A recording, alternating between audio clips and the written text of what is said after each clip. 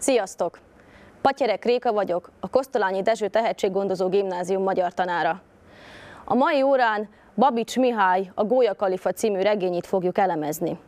Időszűke miatt nem fog mindenre időnk jutni, de igyekszem a legrészletesebben kitárgyalni veletek együtt. Ugye meg kell említeni, hogy Babics Mihály 1883-ban született, és 1941-ben halt meg. Nagyon sokoldalú tehetség volt, tehát mint költő, mint író is, műfordítóként is dolgozott, de még irodalomtörténészként is jeleskedett. Ugye a 20. század elejé magyar irodalom egyik jelentős alakja. Tudjátok-e azt, hogy a mai falfirkák nem csak egy ilyen új tendenciát mutató újdonságok, hanem képzeljétek el, már a 20. században is Babics Mihály egyik szobájában volt egy hatalmas nagy fal, amire mindenki firkálhatott, amit szeretett volna, mert ugye Babics Mihály egy ilyen irodalomszervező figura is volt, és nagyon sok jelentős alag megfordult a házában, és ahogy majd olvassátok a prezentációt, megláthatjátok, hogy rengeteg író felfirkantotta a nevét arra az említett falra. Babics kapcsán meg kell említeni azt, hogy ő egy poéta doctus. Jogosan teszed föl a kérdés, hogy mi az, hogy poéta doctus. Ugye a latin kifejezést annyit foglal magába, hogy tudós költő, és ez Babics Mihályra nézve annyit jelent, hogy köztudottan az egyik legműveltebb alkotó közé tartozott, beszélt és írt franciául, görögül, olaszul, latinul, angolul és németül. Életpályájának az egyik legkiemelkedőbb munkája volt, hogy Dante teljes isteni színjátékát lefordította. Kiragadtam egy idézetet a regényből, így szól. Az életem olyan volt, mint egy álom, és az álmaim olyanok, mint az élet. Ugye, hogyha végigolvastátok a regényt, akkor nem jelenthet kérdést számotokra, hogy az élet és az álom az két tulajdonképpen egymással ellentétes relációt tételez fel a regényben. És azért érdekes ez az egyetlen egy idézet, mert tulajdonképpen összefoglalja a regény összes tartalmát. És azt is fontos megemlíteni, ugye, hogy Babics Mihály nem csak lírikusként volt elismert, hanem regényíróként is remekelt, és ezt szokás elfelejteni. A Gólya Kalifa című regénye 1913-ban jelent meg, a Nyugatban, tudjuk ez egy folyóirat volt, majd 1916-ban könyvformátumban is megjelent. Hogyan is keletkezett a regény? A regény kétségkívül Sigmund Freud tanításai tükrözi, ám bár sok tanulmány ezt cáfolja. Ugye Sigmund Freud volt a pszichoanalízis és az álombeli mm, történéseknek az egyik felfejtője, és egy osztrák pszichiáterről beszélünk, és a regény kapcsán is nagyon fontos lesz az, hogy az élettől hogyan menekülünk el az álmainkba, és ahogyan majd látni fogjuk, a főhősünk hogyan próbál meg az álombéli ényéhez, hát sokszor közeledni, de olykor mégis távolodni. Tulajdonképpen ez a paradoxonok regénye is lehetne. És Freud szerint az álmainkban tulajdonképpen a tudatalatti tartalmak kerülnek felszíre. Sigmund Freud álomfejtése 1900-ban jelent meg, és amit már említettem, vannak ezek a szintek, ugye van a tudatos én, ami teljes mértékben a reális szituációkat képes felfogni. Van a tudattalan, ami olykor előjön, tehát például az álmainkban leginkább ez szokott előjönni, hogy a tudatalatti tartalmak azok megjelennek, és van a tudatelőttes, ami az emlékek összességét tartalmazza, és az sokszor előhívható, tehát tudatossá tehető. Hogyha a gólyakalifáról beszélünk, akkor megemlíthetjük azt, hogy lehet tulajdonképpen lélektani regény is, és detektív regény is. Na most a kettő tulajdonképpen összekapcsolódik, mert a lélek bugyraiban történik ez a detektív történet is, tehát hogy a lélek rejtelmeit próbálja meg maga a 16 éves tábori elemér is feltárni. Hogyha a műelemzését végigvesszük, akkor az első támpontunk rögtön a gyerekkor, összehasonlítása. Tehát tudjuk, hogy van tábori elemér, aki már 16 éves korában ráébred arra, hogy az álmaiban van egy másik énje, akit ugyan nem nevez meg, hanem vagy mint dínok, vagy mint asztalinosként ö, apostrofálódik.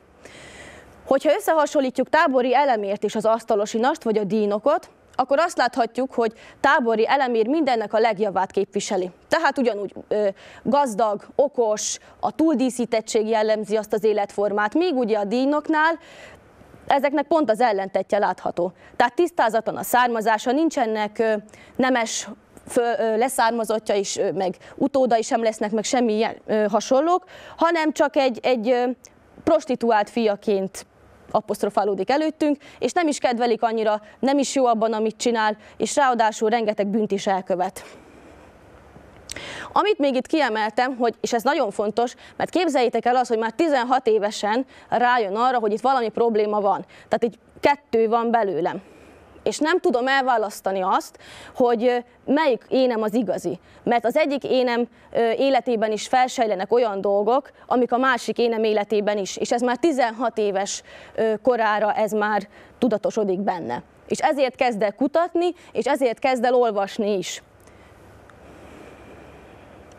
Ami a fiatalkorát illeti, ugye, amit már említettem, ő mindig a legjavát képviseli mindennek. Tehát így jut el egyetemre, majd Velencébe, és szerelmes is lesz. Tehát ez egy ilyen happy end kerek történet lenne, ha nem lenne ez a másik énje, ez a dínok, aki ugyanúgy próbál utazni és elszabadulni igazából a saját kis korlátai közül, viszont ez nem sikerül neki, mert a környezete, a társadalmi szféra az lehúzza őt a mély bugyraiba. És ő mindinkább erkölcsileg megbukik. Ami a végjátékot illeti. Ugye tábori elemér Velencébe utazik. Miért is utazik Velencébe? Hogy próbáljon egy kicsit elszakadni ettől az állam, éber, éberlét és a, a, az ébrellét és az államény közötti ingázásból, tehát kezd egy kicsit már bekattanni tulajdonképpen, és próbálja ezt magától eltaszítani, és ezért gondolja azt, hogy ha elutazik, akkor az majd megszűnik. Viszont azt ugye láthatjuk, hogy ez nem fog bekövetkezni, mivel hogy ez valamilyen tudathasadáshoz köthető ez a történetszál is, és a két világ a regény végén kezd összecsúszni teljes mértékben, tehát hogy kontrollálhatatlanná válik mind a két ö, világnak a létezése egyszerre.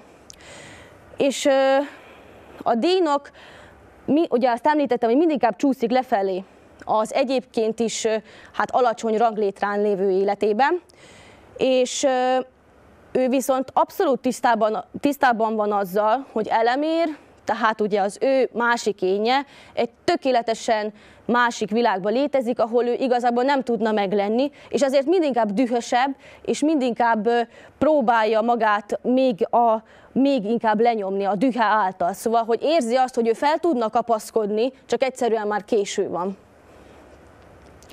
Hogyha megnézzük a tér és az idő relációt a regényben, akkor azt láthatjuk, hogy ugye nyilvánvalóan a századforduló játszódik, és éveket ölel fel, és amit már említettem sokszor, hogy az ébrenlét és az álomlét, ez folyamatos reláció.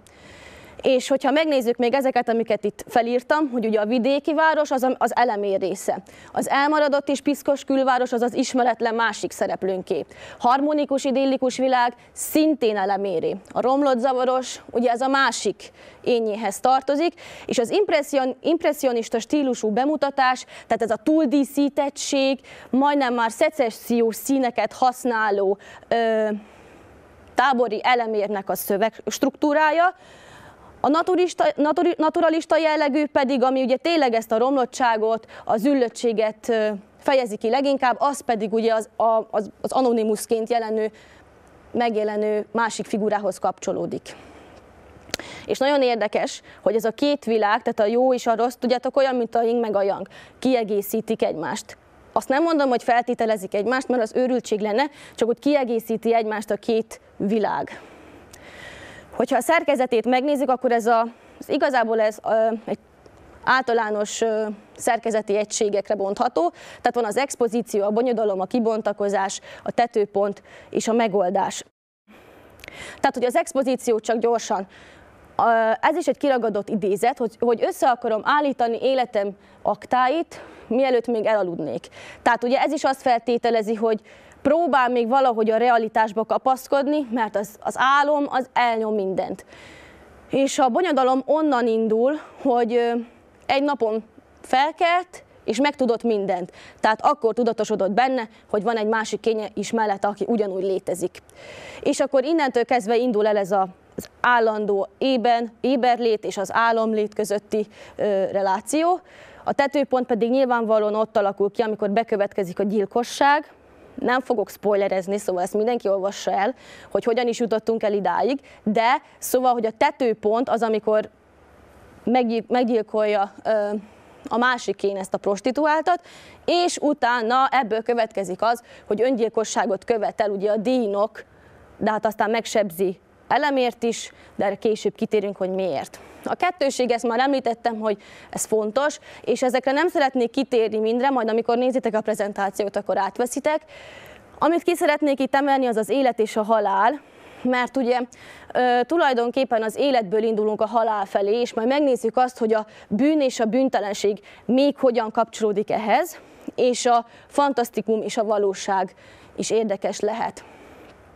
Ugye nem csak az elemér kettőződik meg a regényben, hanem tulajdonképpen mindegyik szereplőnek megvan a párja, és erre elemér fokozatosan ébred rá, tehát nem tudatosodik először benne, hogy az álombéli énje ugyanúgy találkozik azokkal a figurákkal, amivel ő is egyébként a saját életében, és ezért nem tudja teljesen elválasztani a kettőt, mert vannak olyan pillanatok, amikor egy-egy személy, egy-egy cselekedet, egy-egy szag vagy egy íz, vagy szín, ugyanúgy megjelenik az álombéli világában is, mint ami egyébként a hétköznapjaiban. És ezért csúszik neki össze, ezért nem tudja, hogy akkor most hova is nyúljon.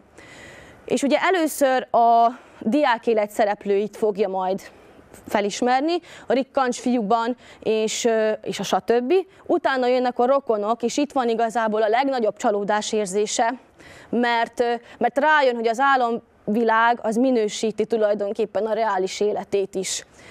És ugye kiemelt szerepet kapnak a nők, hogyha észrevettétek, ugye három legalapvetőbb nőtípust láthatunk, ugye van az öregasszony, az anyáé és a kedvesé. Na most a, a nyilvánvalóan az öregasszonyhoz a, a béke, a harmónia és a megnyugvás kapcsolódik, az, anyák, a, a, az anyáihoz ugye a védelem, tehát a gyermekkor, ö, és a, a szerelem, tehát a kedveshez pedig kapcsolódik valamilyen szinten a halál is, mert hogyha belegondoltak, akkor Etelka kéri meg elemért arra, hogy ölje meg a másik énnyét.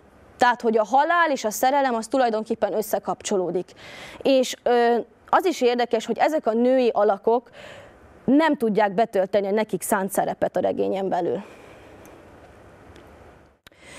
Mert ugye amikor azt látja Elemér, hogy az ő édesanyja egy, egy úri hölgy, egy erkölcsileg totálisan rendben van, míg ugye az állam világában ez a kép, ez teljesen szerte foszlik. Tehát le, lepotyog a vakolat a, erről a képről is.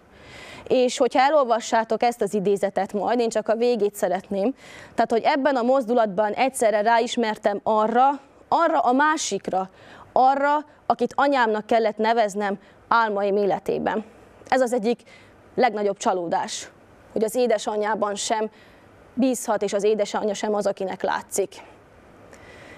És ö, akkor lép be elemér ö, életében megint az álom, amikor megismeri úgymond a testi szerelmet is, mert ugye az is egy menekülés próbá, menekülési útvonalként szolgál számára, hogy az éjszaka mélyére veti magát, és akkor ö, bordélyházról bordélyhátra jár, próbálja elfelejteni ezt a szörnyűségeket, amik történnek vele.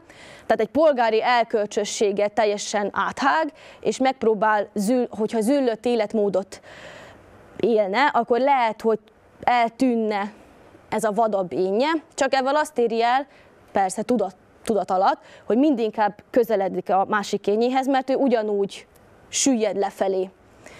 És amit már itt említettem, itt egy gyönyörű, szép idézettel is alá van támasztva, hogy a halál és a szerelem az összefonódik.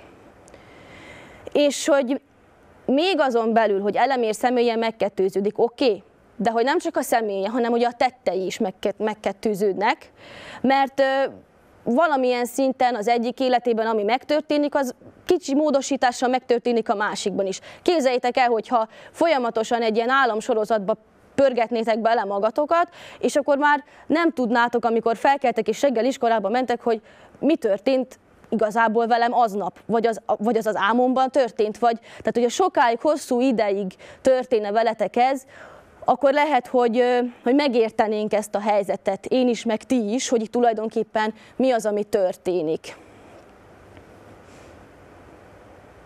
És az az érdekes, hogy tulajdonképpen ők próbálják magukat külső szempontból is nézni, tehát egymásra tekinteni, mert mind a ketten tudják, hogy a másik az ugyanúgy létezik. A bűn és a bűnhődés kérdése az azért fontos, mert elemér bűnösnek érzi magát azért, amit tesz a dínok. Tehát ez természetesen abszurd, de hát ő nem tudja elválasztani a cselekedeteit. És ezért ő, mint bűntelen bűnös, ő is bűnhődik, és ugye később, amikor amikor majd ugye elkövetkezik az öngyilkosság, azért sebesül meg ő is, tehát ez ilyen gyönyörű szimbolika is, mert felelős, felelősnek érzi magát a dínok tetteiért. És nagyon jó felismerése volt a dínoknak az, hogy nem én vagyok a bűnös, hanem a társadalom. Nem én vagyok az, aki miatt lesüppettem, hanem a társadalom. Hogyha megnézzük a családi, családi szereplőket, akik abban a világban játszódnak, akkor nem kell magyarázatot adnom, hogy miért mondja ezt ki. Egyrészt a 16 éves dínok, másrészt meg ugye később, amikor ráébredt, hogy próbálna ő kitörni, csak nem, nem tud. És az a regénynek az egyik üzenete, hogy Babics számára az volt a fontos, hogy mivé válhat ugyanaz a személyiség különböző társadalmi környezetben. Hiszen az úri fiú is sikereket ér el, viszont a dénok kudarcai ugyanabból a biológiai meghatározottságból fakadnak. És úgy is, értelmez, úgy is értelmezhetjük, hogy egy kollektív ö, büntett képviselőjeként van jelen elemér. Tehát, hogy az összes ilyen ö, alsóbb társadalmi rétegben lévő ember kollektív bűnét viseli magám.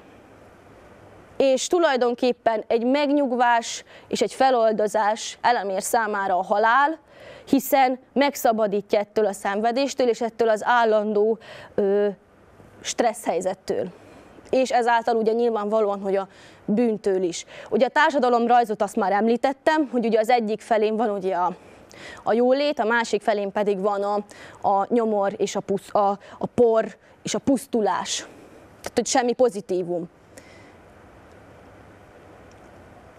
és hogyha a gyermekkori élményeket nézzük meg, akkor elemér sokkal ö, szebb gyermekkori emlékeket tud felidézni, mint mondjuk rá a névtelen. És a Goya Kalifa felkínálja a társadalmi realista, naturalista olvasat lehetőségét is, mivel ö, amikor olvashatjuk a végén az író levele című zárórészt, amelynek címzetje egyébként a megjelenéskor 1913-ban Móri Zsigmond volt, hogy tábori elemér önéletírását, keretező talált szövegpoetikáját ismerhetjük meg benne, tehát próbál valamiféle reális keretet adni ennek az egyébként fiktív történetnek. Ezt hívjuk ö, talált kézirat poétikájának.